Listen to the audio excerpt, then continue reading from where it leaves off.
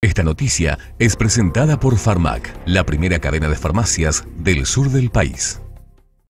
En el aniversario número 31 del Hospital Pediátrico Municipal se han inaugurado obras con una inversión de 1.650 millones de guaraníes que favorecerán a los pacientes que acuden mensualmente al hospital. El acto protocolar se realizó en la mañana de este lunes. Todo es para mejorar la calidad y el servicio que estamos llevando adelante.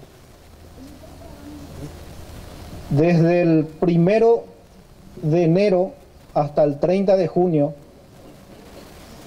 hemos atendido a 25.978 pacientes.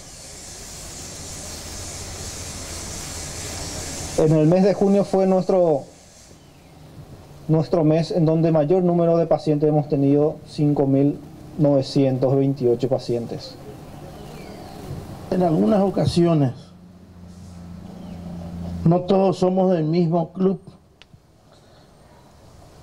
pero sí todos tenemos el mismo corazón. Este lugar en donde estamos,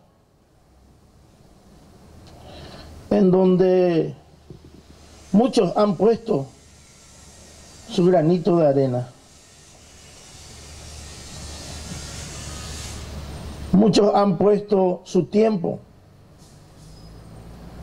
Y ni qué decir los y las funcionarios y funcionarias más antiguas de este lugar.